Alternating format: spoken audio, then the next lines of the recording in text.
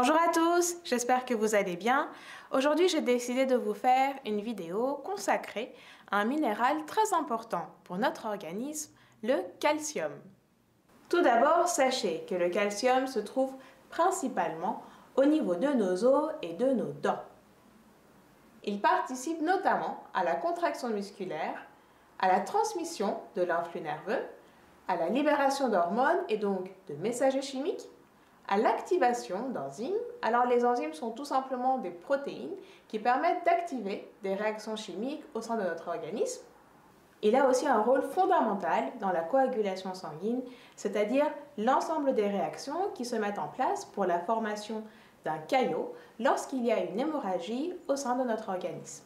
Sachez qu'une carence en calcium eh bien, peut provoquer une fragilisation des os, un retard de croissance, des engourdissements ainsi que des crampes musculaires, mais aussi des problèmes au niveau de la gencive, des dents et au niveau des reins.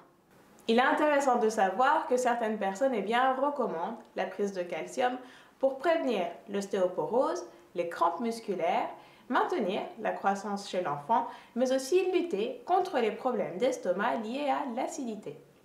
Il faut noter que le calcium peut interagir avec certains types de médicaments, alors le conseil que je vous donne est tout simplement de décaler votre prise du calcium des autres types de médicaments de 2 heures. Sachez aussi que certains aliments, tels que les épinards, la rhubarbe et l'oseille, réduisent l'absorption du calcium. Sachez que la vitamine D permet d'améliorer l'absorption du calcium. J'attire votre attention sur le fait que les besoins journaliers en calcium pour un adulte sont de 1 à 1,3 g. Vous pouvez très bien combler ce besoin avec une alimentation riche en produits laitiers et en aliments contenant du calcium. Vous pouvez retrouver le calcium dans beaucoup d'aliments tels que les graines, les légumes secs, l'orange, la groseille, le kiwi et le cassis. C'est fini pour cette vidéo consacrée au calcium. J'espère vraiment qu'elle vous aura bien informé par rapport à ce minéral très important pour notre organisme. Surtout, n'hésitez pas à liker la vidéo, partagez-la pour informer l'ensemble de vos proches et d'autres personnes.